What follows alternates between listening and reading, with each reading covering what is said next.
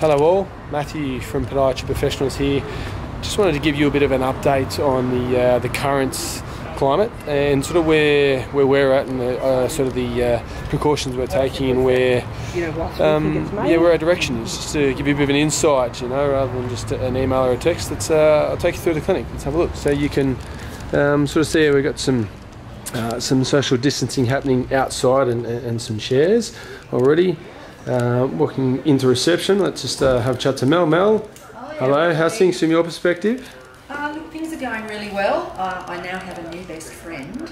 Uh, we are just making sure that we've got everything wiped down. We do the chairs, we do the bench tops, pens, keyboards, everything's done.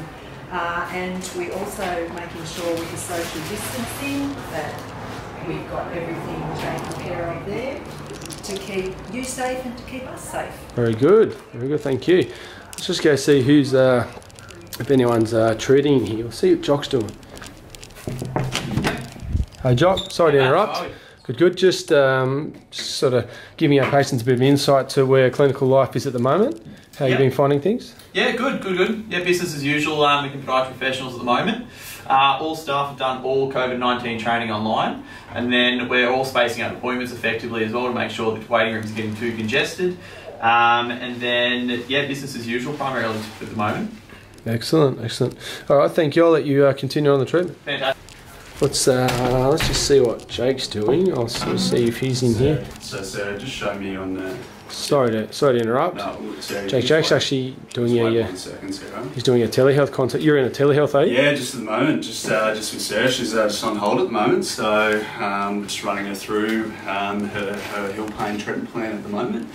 Um, so we're, we're offering telehealth um, appointments for those that can't attend the uh, face-to-face consultations with the current pandemic uh, that's going on at the moment. So we can do 90% of the treatment uh, for you guys for a fraction of the cost um, of a face-to-face consultation.